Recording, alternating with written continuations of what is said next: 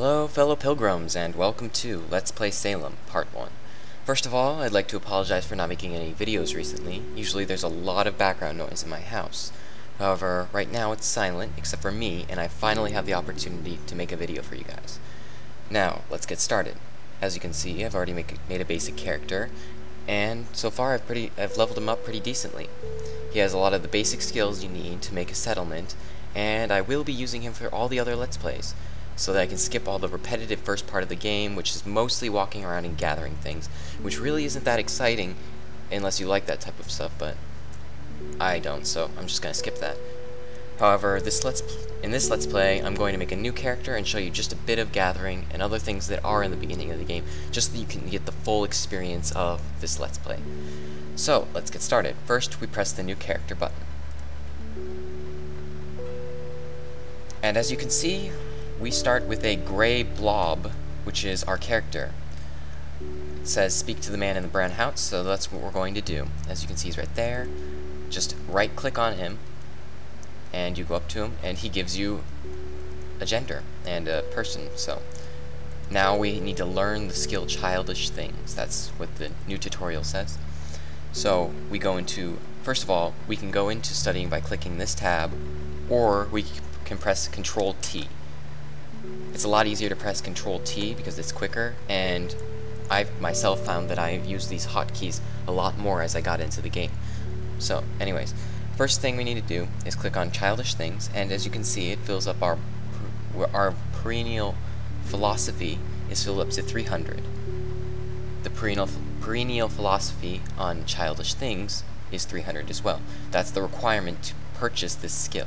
So when we press buy, it purchases it purchases the skill, and the perennial philosophy gets reset to zero. Now, now that we have childish things, we can now talk to this guy, which will give us who will give us a name. So, I guess I'll just name my guy Char. Oh, I know, Flash Gordon. Just some random name, but it's now it says board the ship. But before we do that, we're going to have to get some clothes, obviously. So right click this chest and we come up with the yell chest which is just a form of container which holds our starting items which are priestly robes, puritan's hat, brown pants, and adventurer's boots. So we're going to pull up the inventory which is right here and we're going to pull up the equipment tab. Now, separate this out a bit.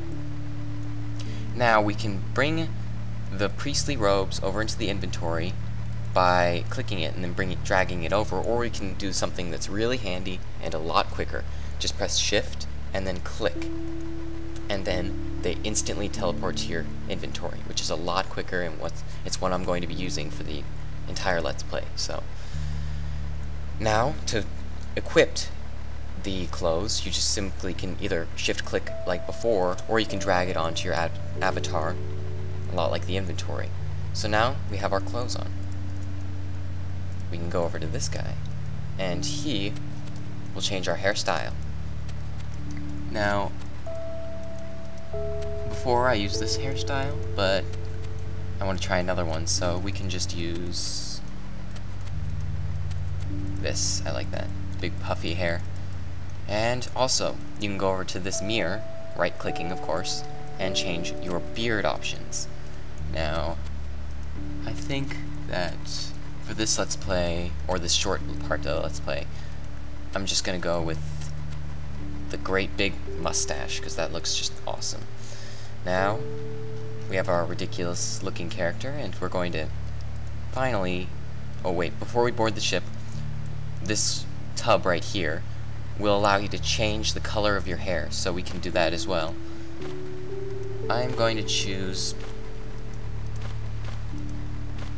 red because redhead, I don't know.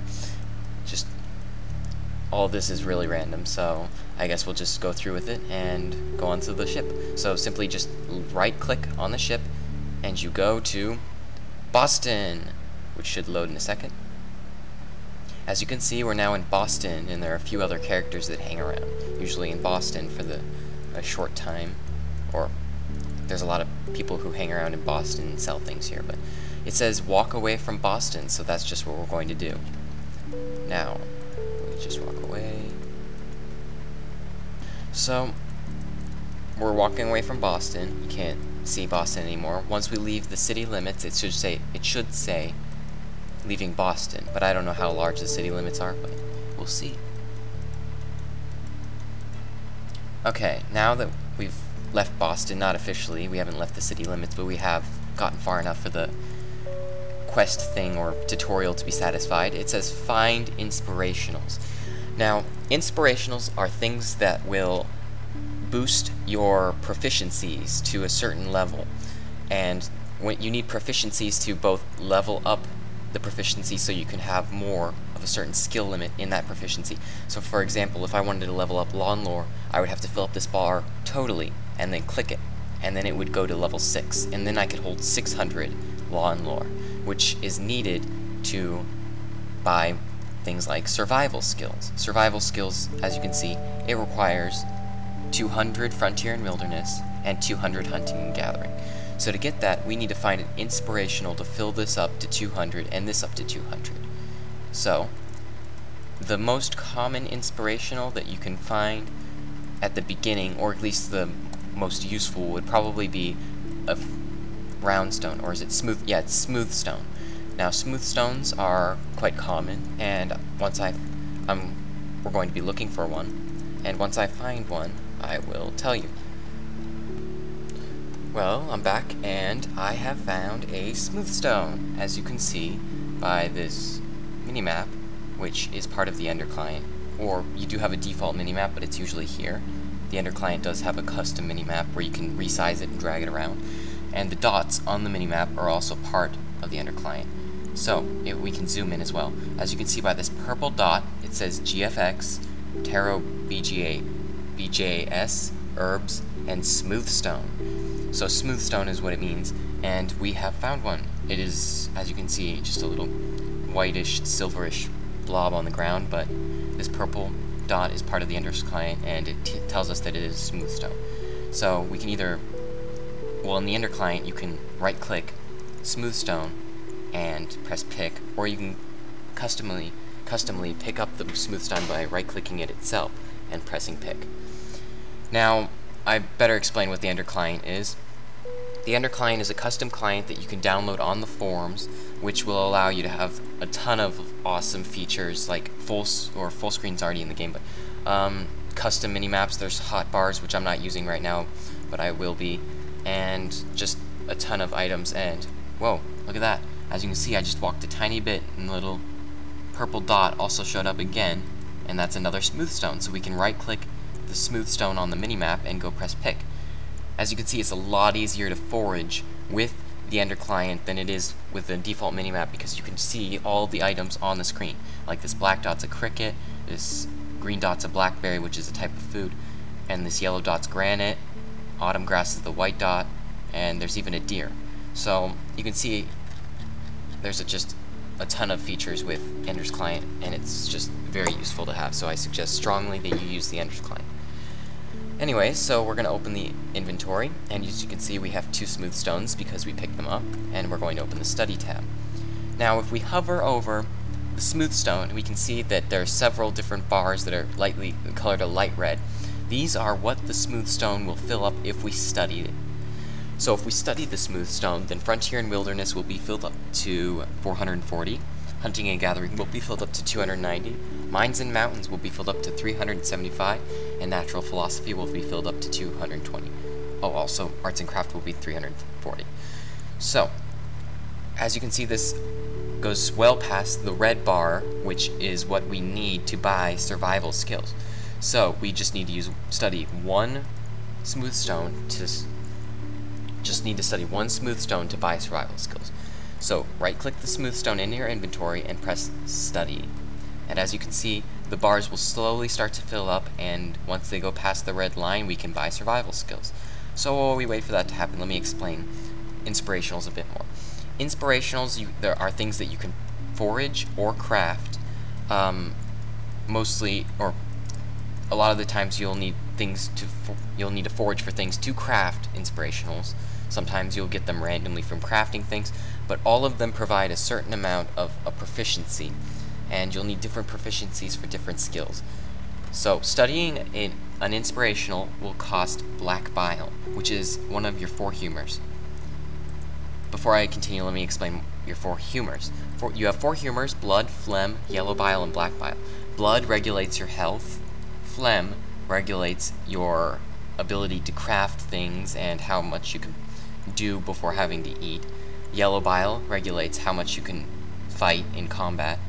And black bile is how much you can study. So, right now, as you can see, black bile is slowly draining. It's at 4.0 now, and that's because we are studying the smooth stone, as you can see by the filling up bars.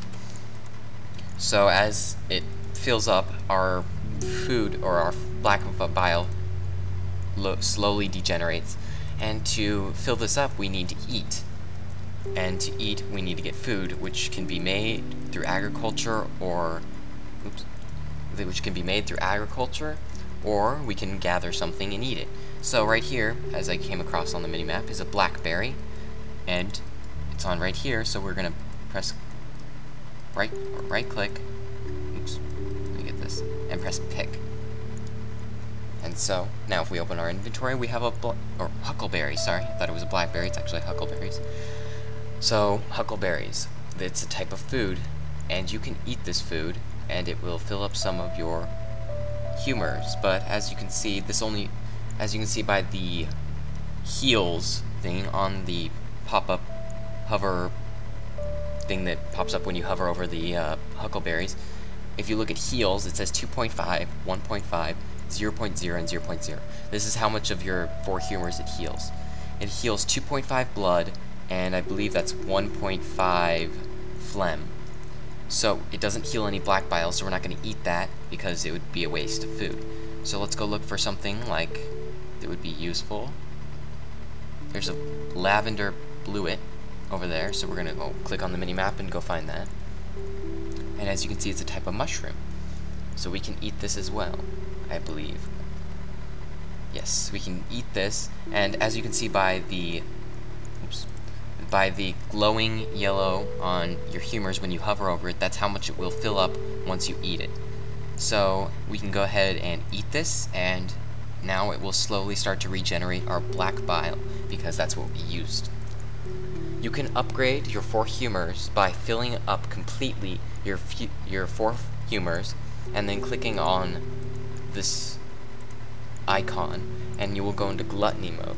Now when you go into gluttony mode you can press tab you can press uh, you can go into your inventory and basically eat different foods as much as you want and if you extend if this little icon it will turn into a small little dot in the center in gluttony mode and if you can extend it to one of the four corners then you will upgrade that humor so usually you want to have a lot of food in your inventory when you go into gluttony mode so you can use or so you can level up as much as possible. And so I'm not sure if I will be showing gluttony right now, maybe pro probably in a later let's play, but that's how you can level up your four humors. Now, for some time we've had our proficiencies have completely been filled, or the smooth stone has been completely studied, and now we have enough to buy survival skills. So when I go down and press buy, something interesting happens all of the proficiencies go back down to zero. So you this is a definite necessity to know how to balance different uh, different study skills and or sorry uh, it's definitely a necessity to know how to balance inspirationals and what to study with your proficiencies otherwise you might end up wasting a really good proficiency for a cheaper skill so now you can see we have access to different skills which all require different different amount uh, amounts of proficiency. So now that you know the basics, or that's pretty much all the basics of this so far, and I might might make another video on with the basic beginning foraging things, or I may go straight into my higher level character and show you some more interesting stuff. Anyways, thanks for watching, please subscribe to my channel, and See you next time.